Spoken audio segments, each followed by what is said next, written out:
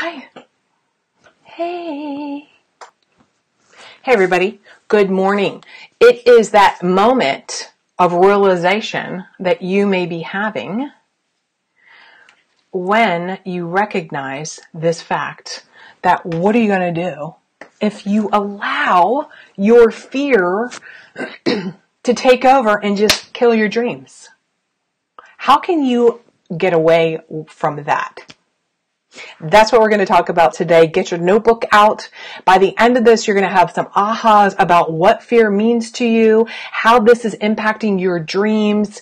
I want you to reconnect with how powerful you are. And maybe, just maybe by the end of this, you're going to recognize that, you know what, fear might be the very thing you need to embrace. Ready?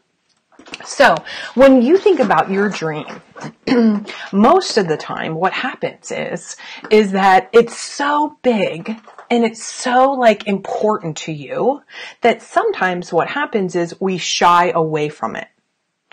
Because your fear, your number one fear, most women's number one fear is the fear of rejection. Fear of rejection. And rejection looks like this right? Your rejection looks like this. What if I go for it and then everyone around me is like making fun of me or says you can't do it or you know somehow uh, like you lose 20 pounds and all your friends are like come on it's friday movie night let's go have a, a pizza and a movie or go out and drink maybe you want to quit drinking maybe you want to build your business and you're like, oh my God, I want to have a, you know, $200,000 a year, $150,000 a year business. And you're around people right now who are like, $150,000. You're never going to make that. That's not possible. And so the fear of rejection starts whispering. Now this is the good news. Hey, Jessica, this is the good news is that what's happening is your brain is an amazing your brain is amazing. The, the job of our brain is to keep us safe, is to keep us safe. So when there's something that's challenging it, it goes, whoa, man, no, no, stop. And it will start whispering all of that stuff. It will start whispering, whispering, whispering to you. You can't do it. Don't do that. Oh my God, what are people going to think? Your mom's going to reject you. Isn't life good enough as it is right now? Come on. Why can't you ever be happy with what you have? You're never going to make money. You look good. Why do you need to lose weight? Oh, come on, keep drinking. You know, what's a glass of wine or two at night? See, this is what our brain does. It, it whispers to us to hold us back from the very thing that we say we want. And see, we say that we want these things. It's a bigger house, you want to lose weight, you want to have a better relationship, you want to quit drinking, you want to make a lot of money, like whatever it is for you, your dream. We have these moments almost like of lucidity, right? We have these moments of like the veil is open and we're able to see all these possibilities and we're like, yes. And then our brain is like, nope. And it shuts it. And so the truth is when your fear, when you allow yourself to give into that fear, and you make a step forward and then a step back and a step forward, that fear can just chip away and then feel like it's killing your dream. And then you know what happens. Okay, let's be what? Let's be in reality. What happens is it's like, you know, it's now Monday morning and you're going to start all over trying to lose the weight. Or it's Saturday morning and you're oh, disgusted that you drank last night or ate that pizza. Or it will look like when you're building a business, you won't take the action you need to build a business. And he, like this is some of the action that you need to take. It's like, finding out where your ideal client is, asking for the sale, having a sales conversation, showing up like this on social media or marketing or speaking live on stages. You won't do the work. And so this is that moment that people have when they're like, oh, why am I procrastinating? Well, you're procrastinating because you have this fear of rejection. You're procrastinating because you are fearful that you're not going to succeed And there, if you don't succeed or if you fail, then you're going to get rejected by people. And see, your fear is your real fear, my friends, is you don't want to experience the uncomfortable. You don't want to experience the like the trials of moving toward success.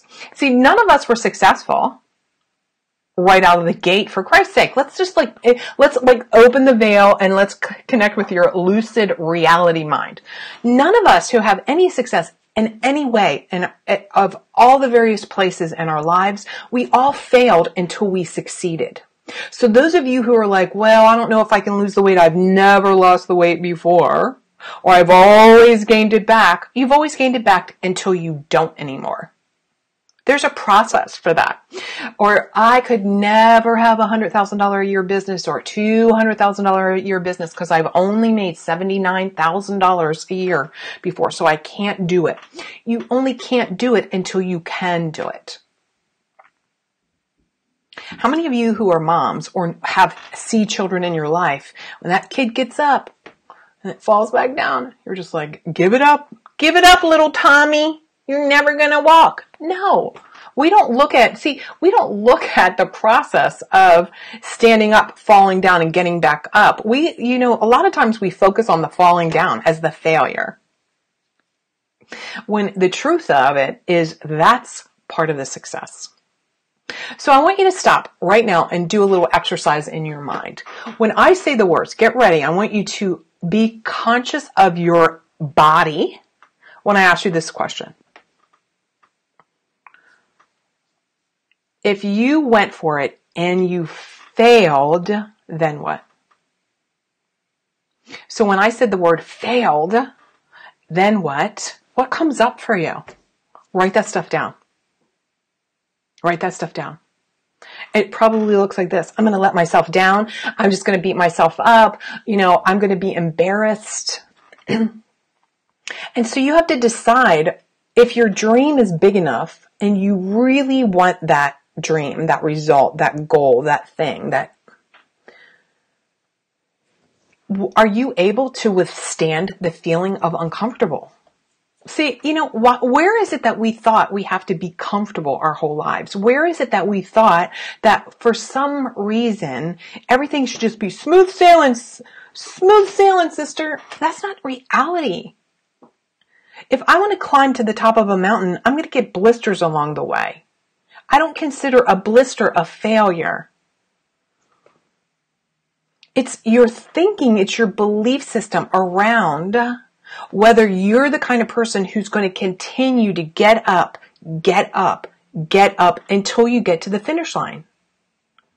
So when you think about fear killing your dream, you're giving into your fears of rejection. You're giving into your feeling your fear around really you being able to withstand and experience the feeling of uncomfortable.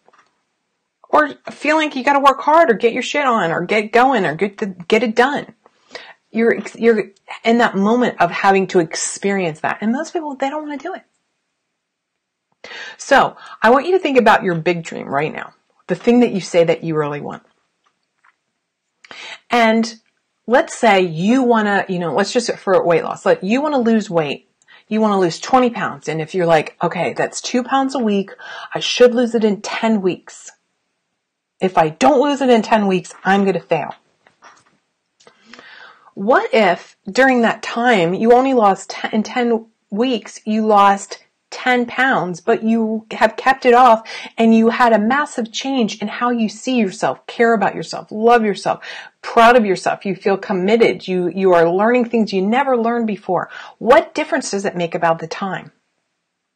See, part of your fear of failure is you have this t- deadline and you feel like if I don't meet that deadline, I failed. No. What about if along this path to getting to the dream, part of making sure that you get the dream and you experience and live it is you are building your belief that you're able to do it. Because right now in the moment when you're in the fear place, ah, I'm a fearful of failure, you're not actually in the belief that you can accomplish it. So what if instead it, it didn't matter how long it took you? As long as you are continuing every day moving forward toward that goal and you acknowledged fear or the thought, oh my God, it's taking me longer than I thought. Okay. That's all right. We're heading, we're moving forward.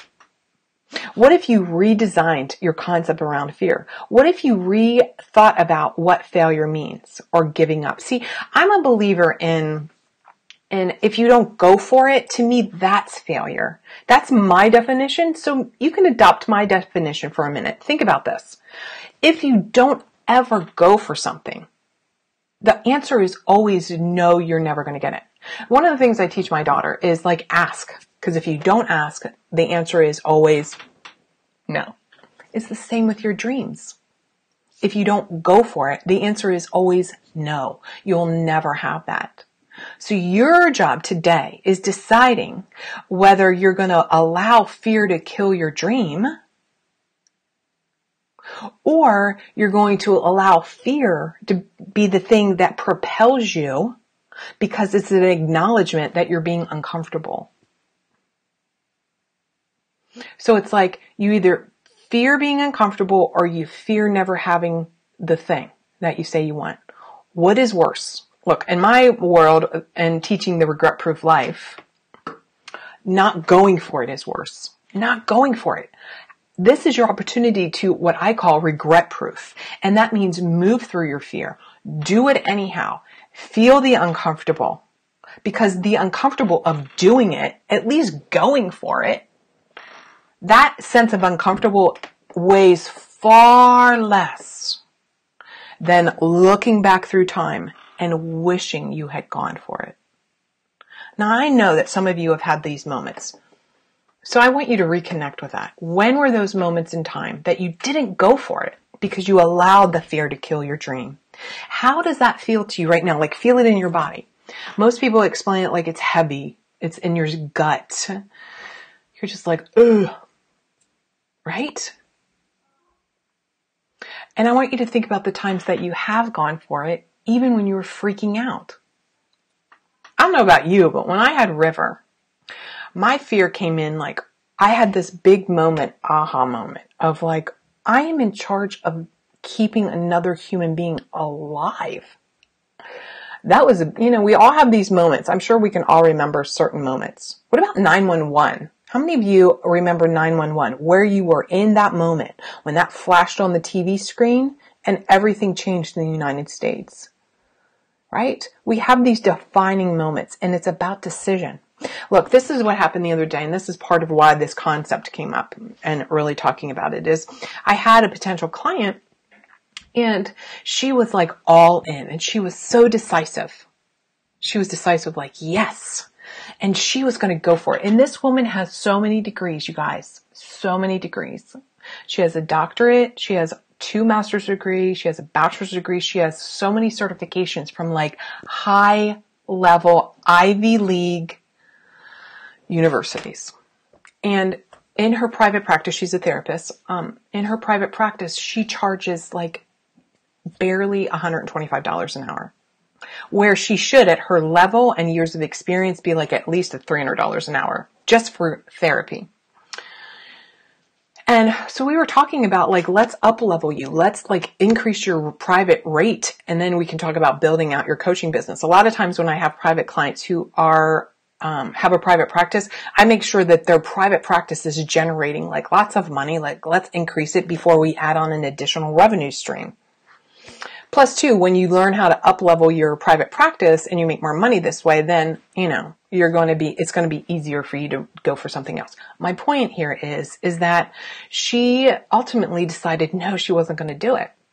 Even though she had decided, she turned that around on herself because she was so overcome by her fear that she wasn't even going to be able to raise her rates. She was so overcome by her horrible terror that her clients would say no. She was trapped in her fear. She was, and she allowed fear to kill her dream. And her dream was like to make enough money that she could take a couple days off, which I was like, um, that's no problem because I can teach you how to have more money in your business. Like that was an easy, like that, she came to me, my perfect ideal client. It was an easy, oh, like I can help you with that. Like an easy, no problem. Like tomorrow we're going to talk about how to make more money. Like it was that clear for me. Hey, Jessica, um, Kathy, it, it was that clear. So clear. And so, you know, ultimately she concluded that her decision to uplevel for herself was actually just an act of being impulsive. Now I'm not saying go out there and be reckless, but when you've made up your mind and you've decided you're going to go for it and you back out, that's fear. That's fear killing your dreams. That's you giving into your fear when you make a decision, I'm going to up level and give to myself and invest in myself to learn new skills, to be more powerful, to reclaim my power, and you back out because she, she acknowledged she was terrified. And my job as a coach is not to twist her arm. My job, I walked her through like, this is your limiting thinking. This is your fear. She's like, I'm just trapped. I'm, I'm trapped in my fear. She was totally freaking out. So today, my friend, I want you to reconnect with how powerful you are. Like, you know, before on Monday mornings, like this is Monday at 10 o'clock Pacific, I always talk to my, my accountability partner at 9 a.m. every Monday. And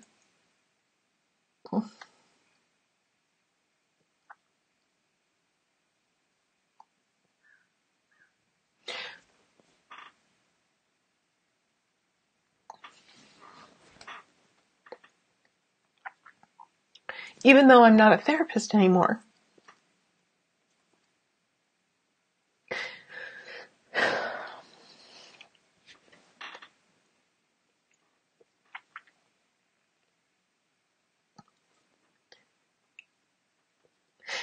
My,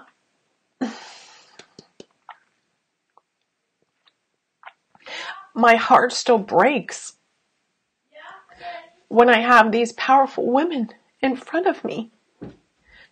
And you forget how capable you are and, and how powerful you are. And it, it breaks my heart.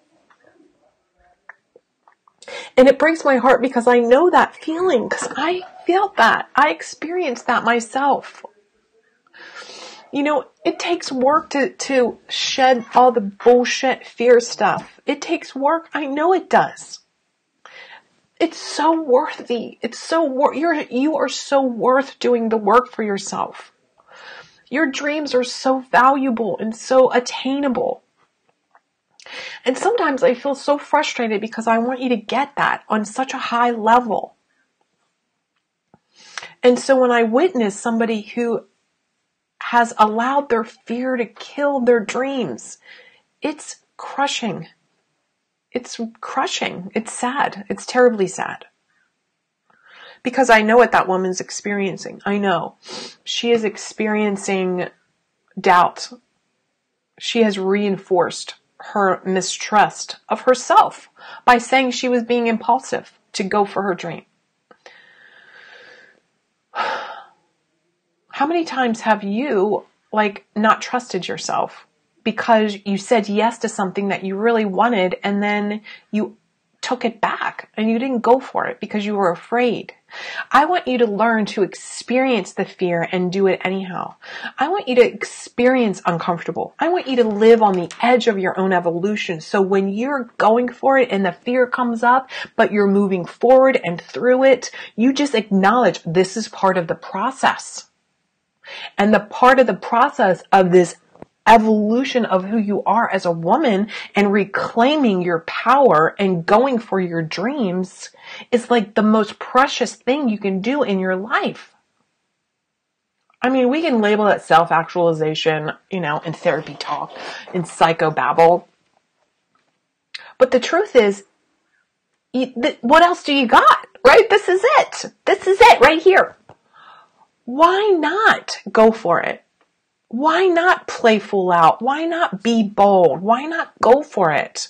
So I want to encourage you today. This is your assignment. Your bold regret proof. This is how you can regret proof. You today, you decide what you want and you write down whatever thinking fears come up and you look at that and say, is that, am I afraid of the fear? Am I afraid of the feeling that's going to come up?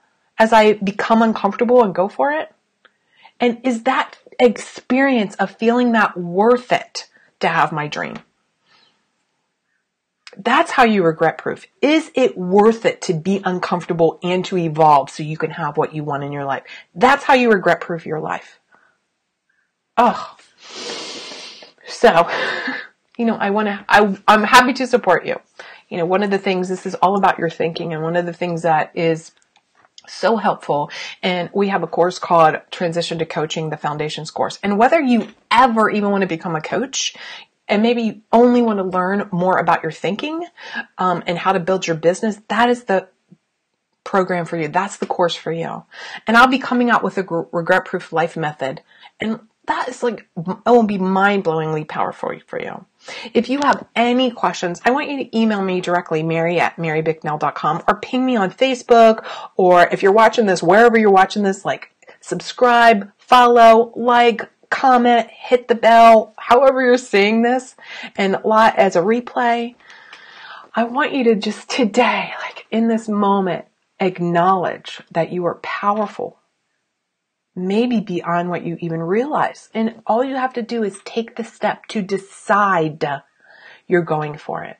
Not I'm going to try to go for it or I'm thinking about it or I'm deciding if. Decide today that you are going to go for it because your dreams are worthy of coming true. Enjoy the day. Bye now.